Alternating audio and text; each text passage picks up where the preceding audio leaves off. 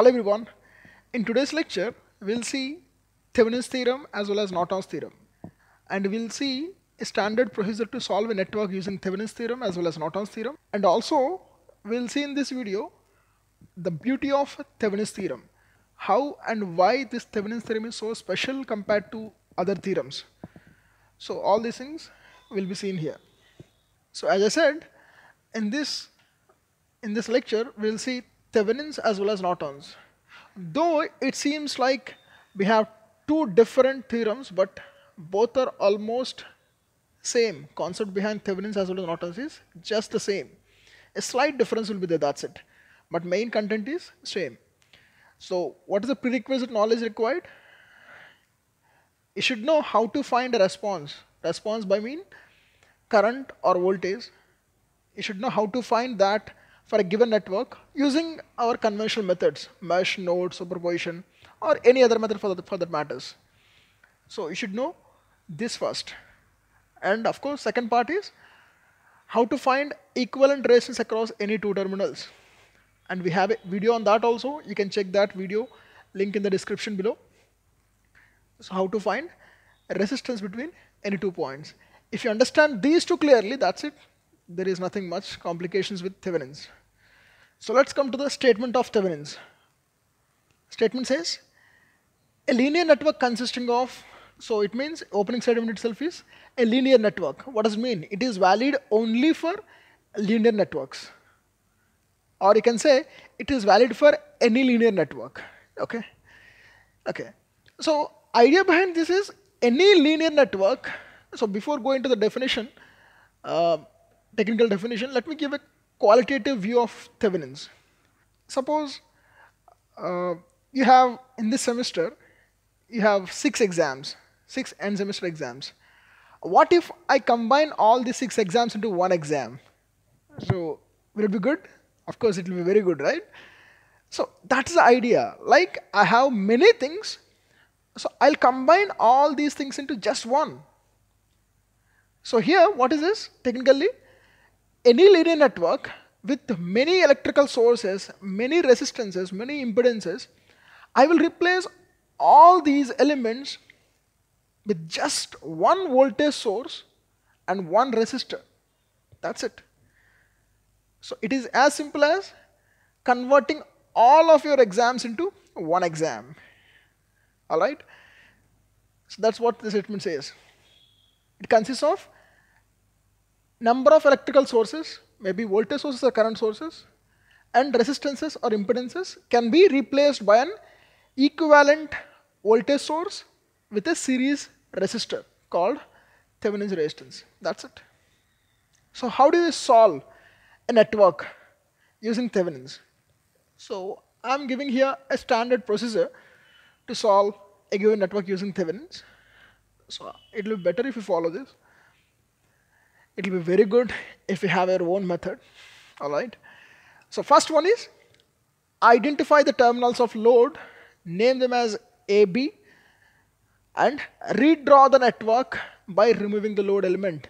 Here the most important thing which all of you miss is redrawing.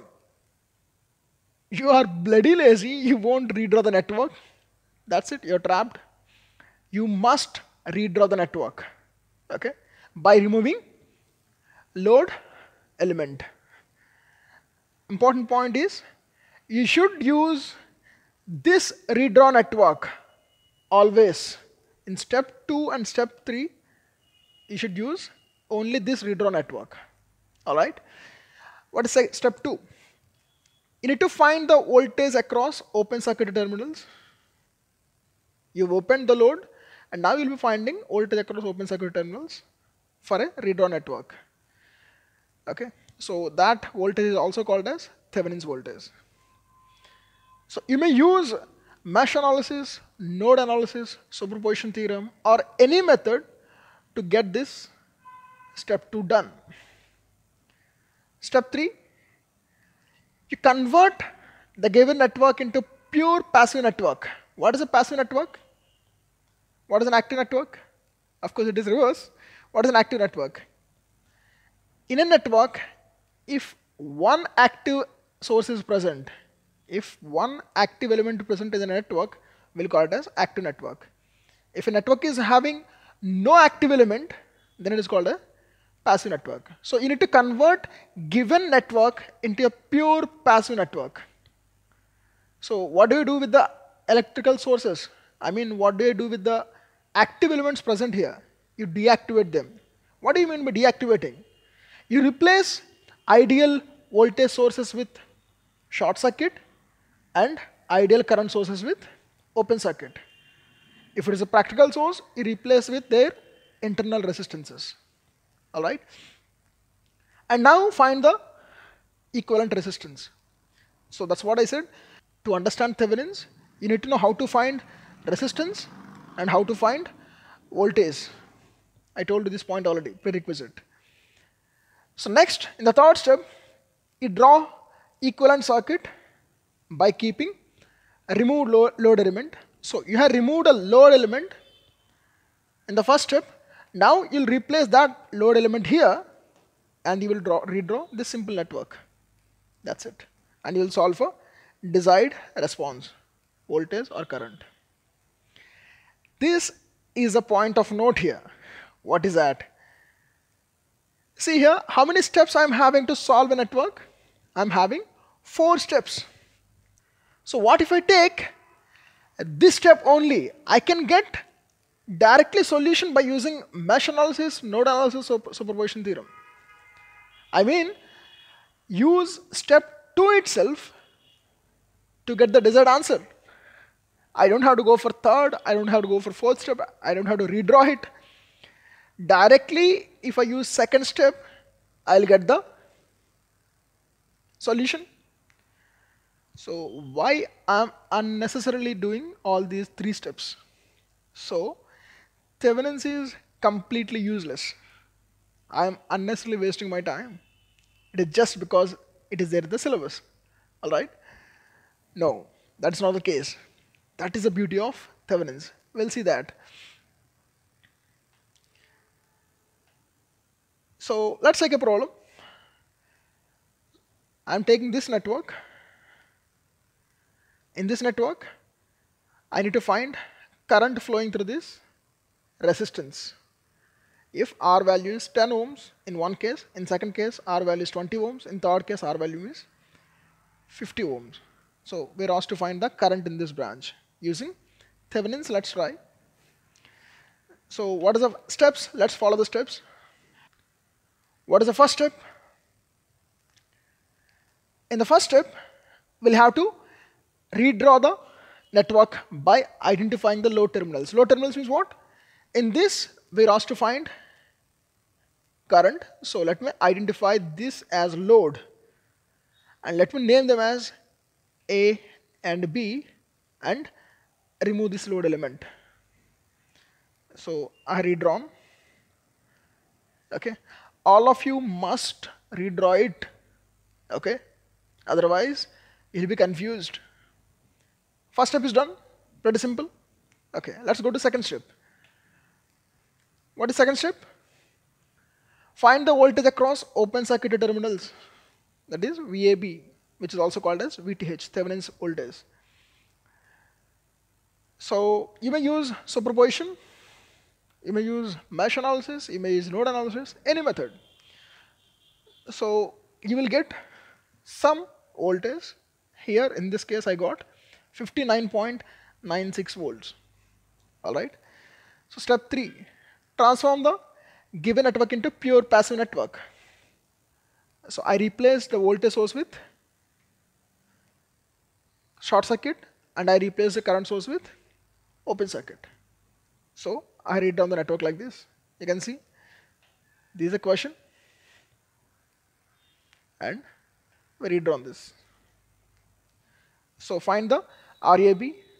How to find resistance between two points we already done a video on this. You can check the description link. So I got here RTHS 10 ohm. Step 4. I simply draw the Thevenin's equivalent. This is the Thevenin's equivalent. What is the voltage I got here? 59.96. Amount of resistance I got is 10 ohms. RTH is 10 ohm. and this is R. So now we need to find current I. So in the first case, R equal to, first case R is given as 10 ohm. So corresponding current is I is equal to 59.96 by, it is a simple series network. So I can simply do it like this. How much? Very good. 2.998 ampere. What if R equal to, in the second case, second bit what is given? 20 ohm. Then find current. I is equal to a simple series network 59.96 by 10 plus 20. How much? Okay, 1.996 ampere. Third bit what is asked? If R equal to, this value is equal to 50 ohm. Then I, yes, by 10 plus 50, 0 point some 99 ampere. Alright.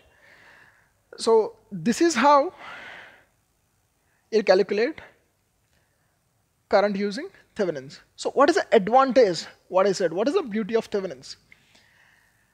See here, if the value gets changed, this value gets changed from 10 to 20 and 20 to 50. I don't take much time to solve the current.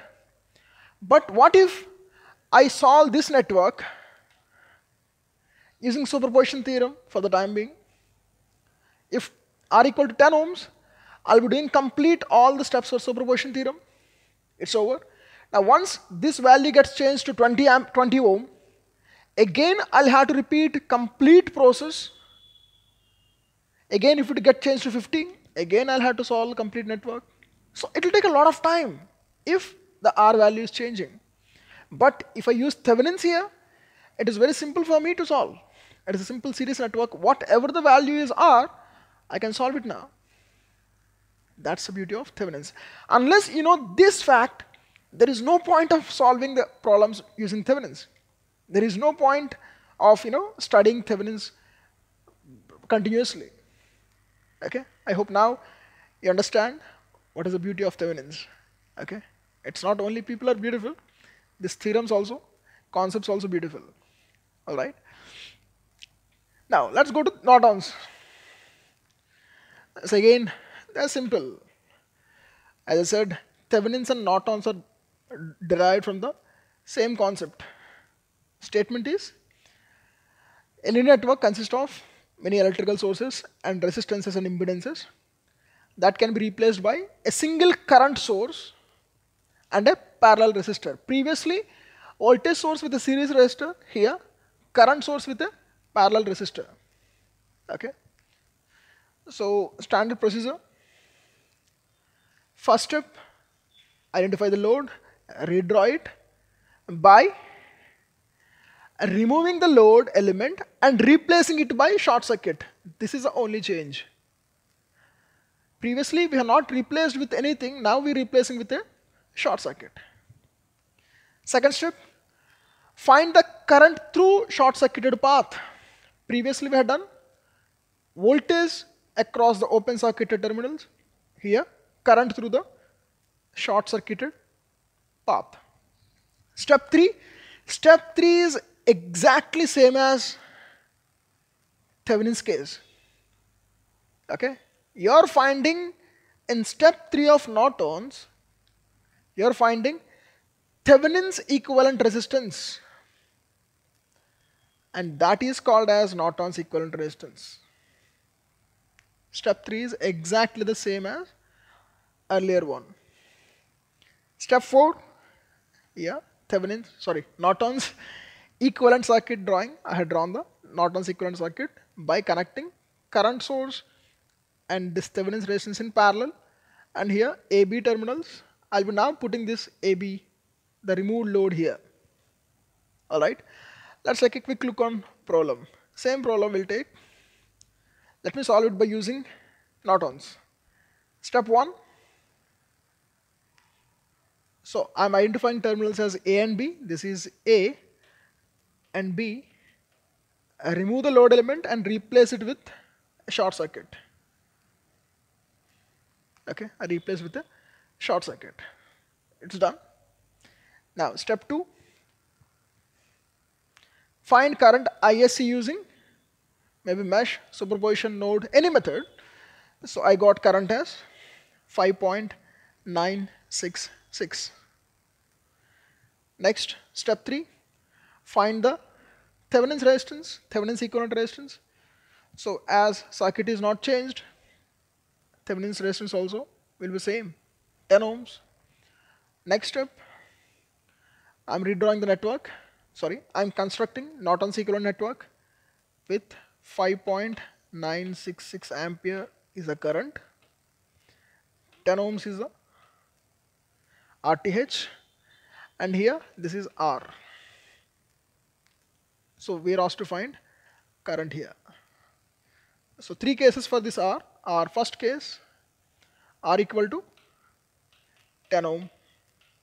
Then I you will get as you simply apply current division rule. If you apply current division rule you will get yes 2.998 ampere. If R is equal to 20 amp 20 ohm then I equal to again current division rule 1.99 ampere. Again R is equal to how much? Third case okay 50 50 ohm I is equal to you will get 0.996 ampere. So check the result. In both the cases you got the same result. That's it. This is Norton's and Thevenin's so what do you understand now we have seen a statement of Thevenin's as well as Norton's and the standard procedure to solve any network using Thevenin's and Norton's. Next, we've seen the beauty of Thevenin's. Okay, so that's it for today. So for more such a kind of conceptual videos, please subscribe to our channel and please share the videos with your friends. Thank you.